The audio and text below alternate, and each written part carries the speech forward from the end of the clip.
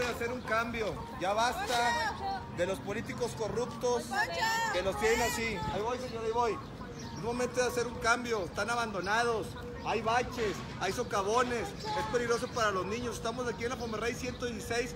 Vamos a trabajar por ti. Hay que sacar al PRI y al PAN del poder. Basta de ellos. Basta de ellos. Basta. Ahí voy.